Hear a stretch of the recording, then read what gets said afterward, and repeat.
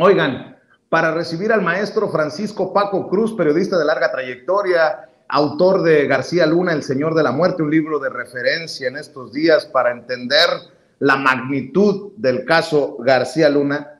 Déjenme rescatar de la mañanera ese momento en el que el presidente Andrés Manuel López Obrador señala de que a días de que Peña Nieto terminara su gobierno, se le dieron contratos a empresas de Vicente Fox para comercializar con mota o productos del cannabis. A ver, porque el maestro Paco Cruz ha hablado de Martita Sagún, de los hijastros de Vicente Fox, los Vibriesca, del propio Vicente Fox, que más allá de ser un bobo, es un corruptazo. Y me gustaría preguntarle su opinión al, al querido Paco Cruz de lo que dijo el presidente. Échalo, David a lo mejor ustedes no saben, pero me pasó ayer el director de Cofepris que están haciendo la investigación. Mm. Cinco días antes de terminar el gobierno de Enrique Peña Nieto, Cofepris dio 63 permisos para comercializar productos derivados de la cannabis, de la marihuana. La mayoría para empresas vinculadas con la familia Fox.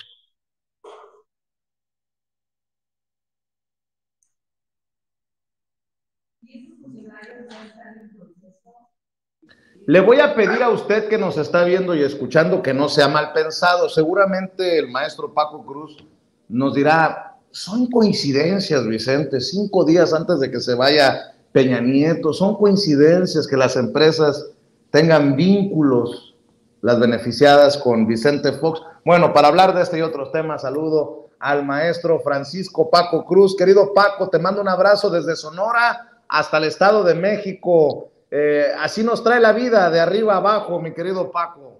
Vicente, pero mira nada más que temas. Primero, primero yo digo la, legisladora Merolico, ¿no? Pero mira, este, Lili Telles en realidad es producto de, eso, de esa, de esa desesperación, de esa incapacidad del PRI, del PAN, del PRD, de los empresarios por encontrar a alguien y entonces los periódicos, periódicos como el financiero, producto de, del panismo de, Felipe Calderón, producto del peñismo, a través de créditos fiscales, a través de concesiones, este, están buscando desesperadamente a alguien y mira, tienen razón, después, después del actor en que se convirtió Fox en su campaña por la presidencia, después del espectáculo que dio, después de las incapacidades de él, después de las incapacidades de Peña y de la fabricación de un candidato, pues Lili Telles está en buen camino, están fabricando un candidato, o por lo menos ella se lo está creyendo,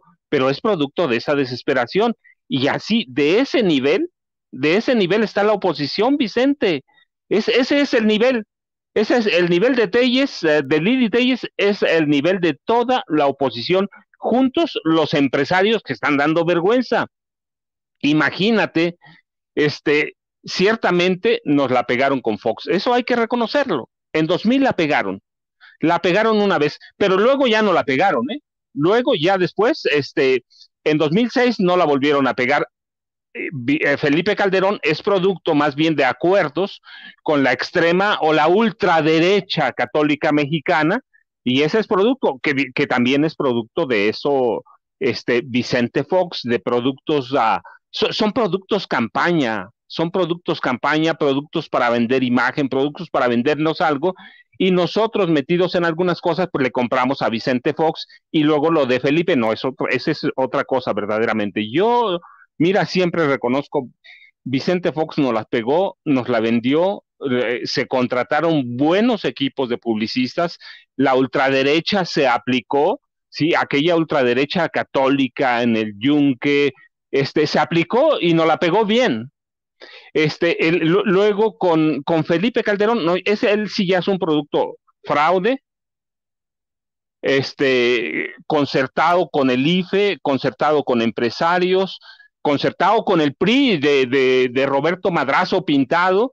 él sí ya es un producto de fraude violento, que no quisimos ver, bueno, no que no quisimos ver, muchos lo vimos, lo documentamos, lo publicamos, pero es producto de un fraude. Pero bueno, después de eso y después de la fabricación de Peña, pues nos quieren fabricar a Lili Telles en algunos sectores, ciertamente, porque todavía no empiezan, pero ah, esa es la desesperación de, de, quienes están tras el PRI, tras el PAN, tras el PRD y tras empresarios como Claudio X González. No han sabido fabricar nada, no han sabido encontrar.